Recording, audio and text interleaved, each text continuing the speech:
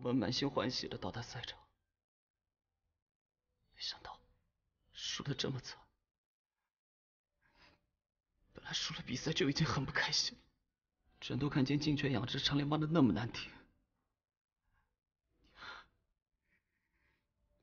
以前不是没有看到过电竞贴吧里赢了吹输了黑的情况，我也做好了输了会被骂的心理准备。果然事情发生在自己身上，我还是接受不了。想抓住每一个人告诉他，当时真的没有办法，只能暂时发育等打团，干克不了是因为真的干克不了，下一次有准备就会更好。可是没有机会了。这么多人，这么多帖子，这么多人骂，根本回不过来。你都知道那些人是赢了吹，输了黑，干嘛还那么在意？因为以前总说我能带队伍赢，我最后给队友创造机会。虽然表面上看只有我一个人在努力追逐机会，但他们不知道的是，我们队伍每一个人都渴望一个这样的机会。都非常努力，都梦想着进入 OPL，在全国观众面前证明自己的实力。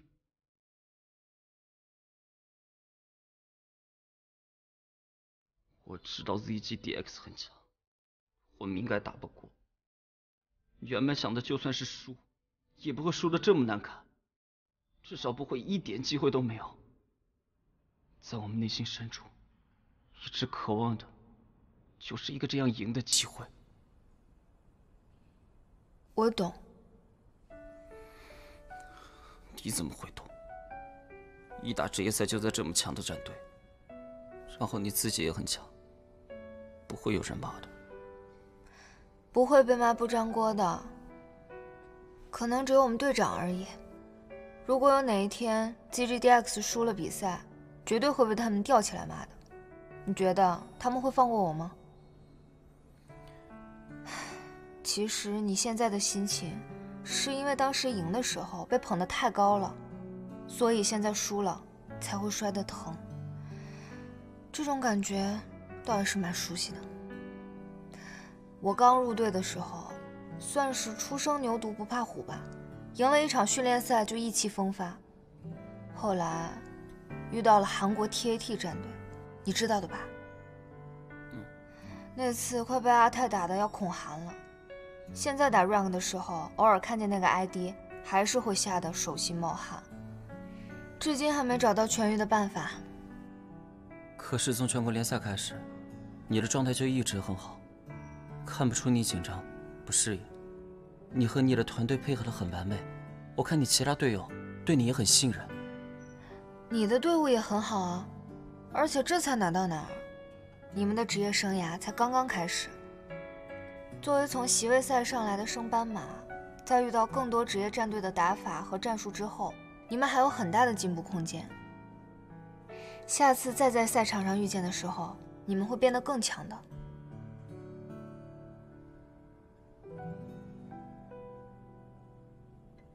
结果还不是轻轻松松就被你们打爆？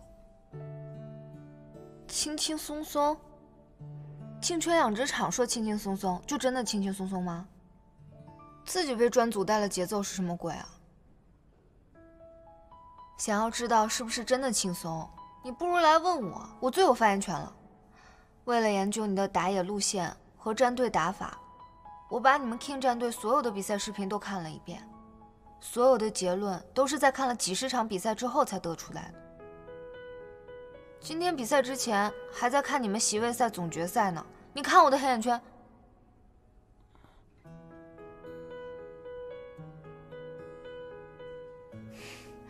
所以别哭啦，哭什么呢？有一个明确的目标，然后朝着这个目标努力，这不是一件很好的事吗？入围赛的意义，难道不就在于此吗？没有哪个战队赢另外一个战队是可以轻松取胜的，所以不用这样妄自菲薄，自己挣来的 OPL 一席之地，就坐稳它。你有点烂好人。我只是不喜欢被无脑吹而已。让其他队伍都害怕你，不好吗？哪儿好了？我每天熬夜复盘看比赛，看的眼睛都快瞎了，为的就是吹这种无形之牛。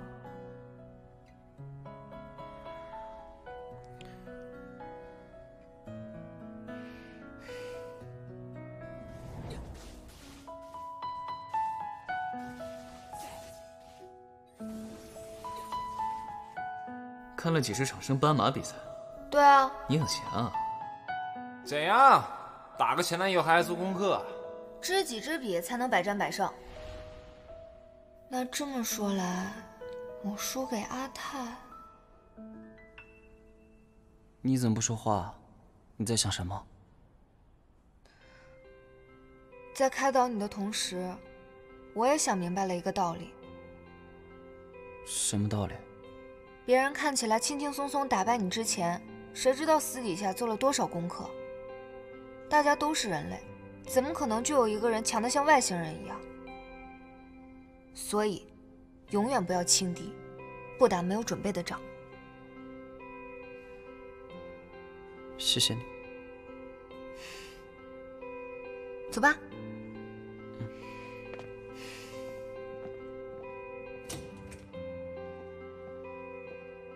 成哥，打了你那么久的电话你没接，原来躲在这儿。